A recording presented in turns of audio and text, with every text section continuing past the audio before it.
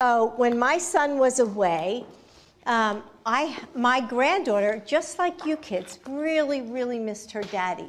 Boy, if that isn't the pot calling the kettle black. You have got to be kidding me. So I wrote this book to tell other kids, because there's lots of kids who don't know what it's like.